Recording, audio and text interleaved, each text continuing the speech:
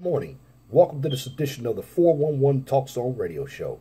My name is Leon Jones. Today's topic What is the purpose of government? What is the purpose of government? Well, that answer is an easy one. The purpose of government is to protect the rights of the people of the United States of America under the Constitution. Here's the problem government over the past 50 years has become more intrusive. One of the things that I do not like about government, particularly the liberal policies that have been passed through government, is that we have to pay for a health care bill that doesn't work. And what I mean it doesn't work, we have working citizens like myself who have to pay higher premiums to take care of individuals who aren't insured.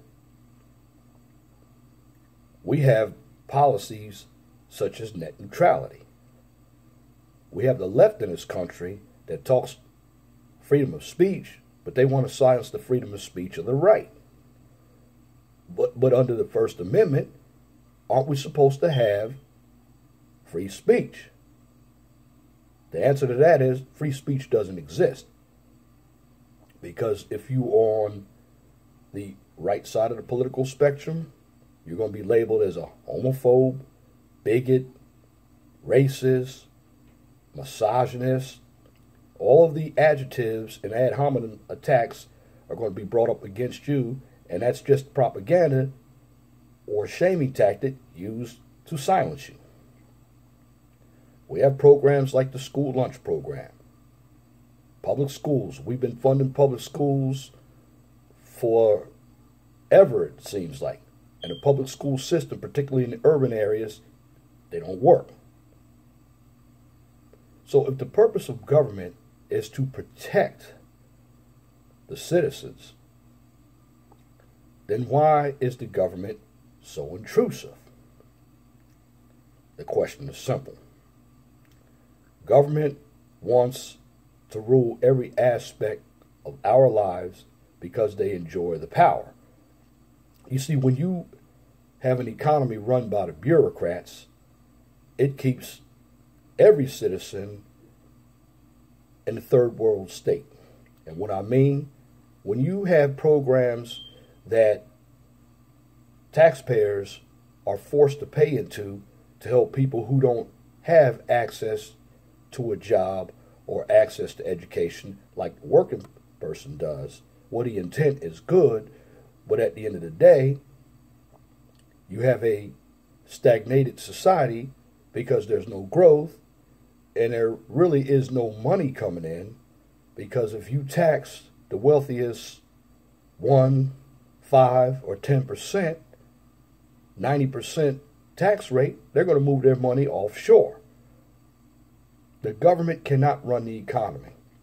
When it comes to media, the government wants to censor free speech from the right, but not from the left.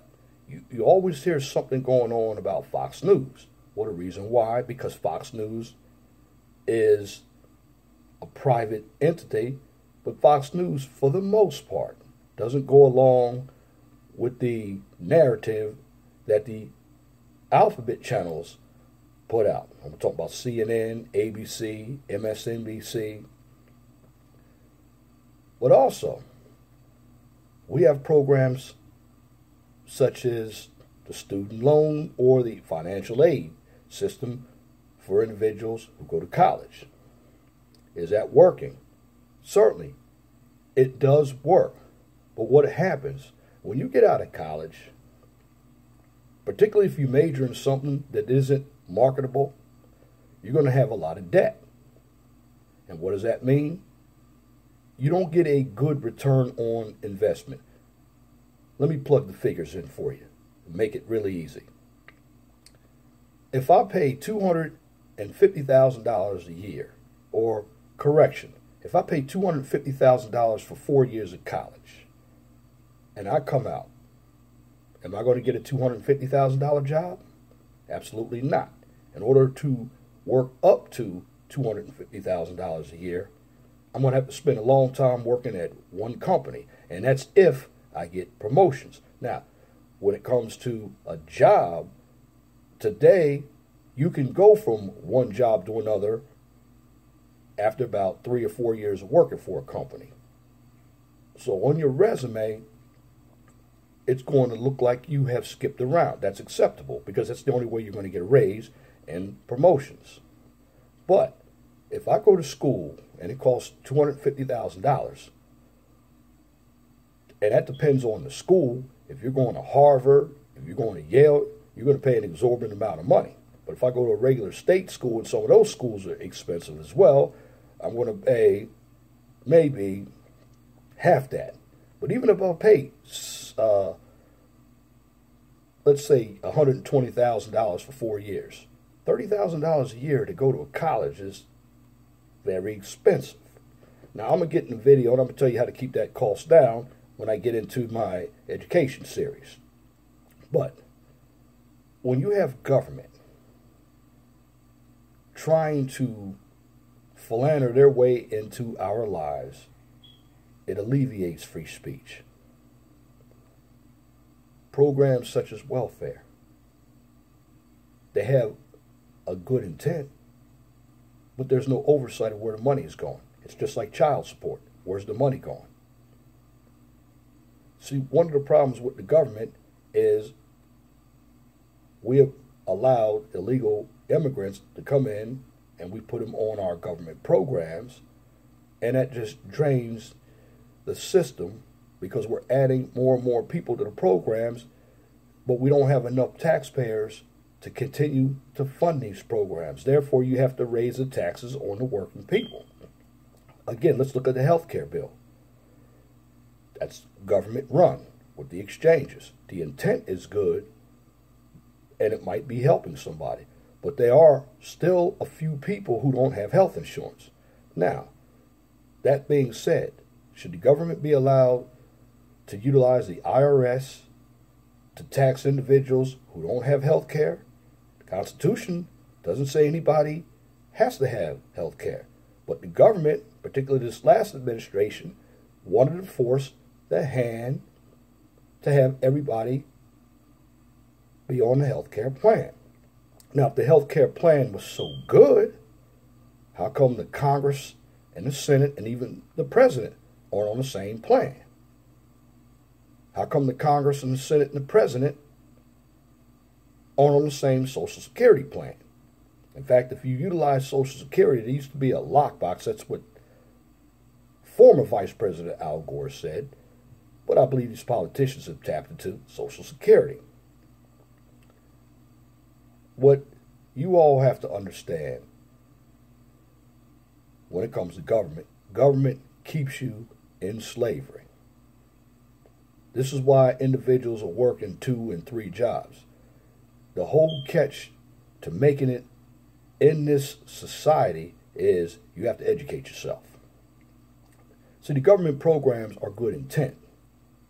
But the problem with the government programs and the problem with the government, period, the government is too intrusive.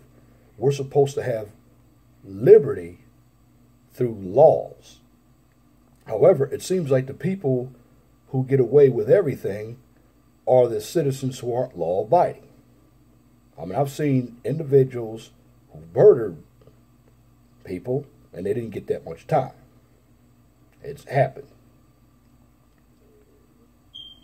when you have government in your lives all the time, that also dissuades people from going to work. Because if you have a job and you work 40 hours a week and you're paid a certain wage, and you have payroll taxes, state, federal taxes, Medicaid taxes. When you have all these taxes coming out of your paycheck versus living on a system, and you have no taxes coming out because you don't pay taxes, you're getting free money from the government, you're getting all the benefits to keep you alive, well, what are you going to choose? You're going to choose the welfare system. And that's what the government isn't understanding. The government encourages individuals to stay on the system. If you don't believe me, look how many more people were added to the food stamp roll when Obama was president. Look how many people were unemployed. I mean, I remember when you got on unemployment, you could only be on unemployment for three months. It went to six months, and then it went to 99 weeks, which is almost two years. And when you go and vote, again, I always get into politics, liberal versus conservative. Well, for the most part, the liberals are the ones who have led the narrative in this country for 50 years. And if you look at it, their policies don't work. Because the way you strap an economy is you don't allow wages to go up, and you raise the prices of cost and goods, so you have to work two and three jobs. And then you utilize the propaganda of the media, which we're supposed to have three branches of government. I believe the media is just an assistant branch to the Democratic Party. So we could say that's a fourth branch of government because the media is for higher taxes, socialism, communism, because the media, for the most part, reports with a left wing propaganda. Now, I'm not saying everybody on the right is correct either, because we have some extreme Christians. If the government continues to be in our lives, we're going to go down a slippery road and we're going to have civil wars within our own country. The government's job is to protect and serve. It's not to be intrusive in every aspect of our lives. And let me tell you this with the abortion, now I'm not for abortion, but if you are pro choice, it is a woman's body, and the government should not be involved in what she does with her child. Now, abortion should be the last resort. You should utilize putting the baby up for adoption if you can't support it. And with a lot of these government programs, you've had fraud. You've had politicians misuse per diem. Remember, there was a politician in Pennsylvania. He went to my school. I graduated from Temple University. He was an alumni there as well. His name was Vince Fumo. Well, he utilized the per diem and illegal campaign funds to fund his own lifestyle. And what did he get? He only got 48 months in jail. I would have gotten a heck of a lot more if I had committed the same crime. The problem with the government is that there basically isn't any oversight for individuals who are on the system or individuals who are legislating the system. And I'm talking about, i.e., the politicians and the citizens who are on the programs. What the government needs to do is be more accountable for their actions. So we need more watchdogs who will watch over the government. Now, I do applaud Fox News for being a watchdog. Now, everything that Fox presents, I don't agree with either. However, it is more objective than all the other news sources. And when you have the government, and maybe Donald Trump will turn it around, because we don't need more government, we need less government. Government, if it holds its right place, we can function as a society. The United States functioned up until the 1930s without social programs. Now, I believe that these programs were implemented so there'd be more people on the government roll. In other words, you have more social workers it creates more jobs. But here's the problem with the government as well the government is not in the business to make money. It should not be in the business to make money. But it does make money. When you pay your taxes and they come out of your paycheck, that money just sits there. It's like a savings. And if you get a refund, that means they're taking too much out of your paycheck. The government has their eyes in everything that you do. Your medical records, cameras on the street to see what you're doing. And we keep voting for more and more big government. We're not going to have our freedom. And this country was founded on freedom through the Constitution. So I'm urging everybody when it comes to what we have now, we have a new administration. Give President Trump a chance. And this is not a video endorsing President Trump. Obama didn't do his job for everybody. He did do a job for some people. And I'm not saying everything was Obama's fault either, because basically, again, if we're going to have government why doesn't government get in the business of setting term limits for congresspeople and senators? See, if you had term limits, that would cut out a lot of waste and fraud as well. Because these politicians appropriate funds incorrectly. There's always money missing. I remember the city of Baltimore back in 2004 had $58 million missing. Now, that wasn't on the federal level, but that was on the state level.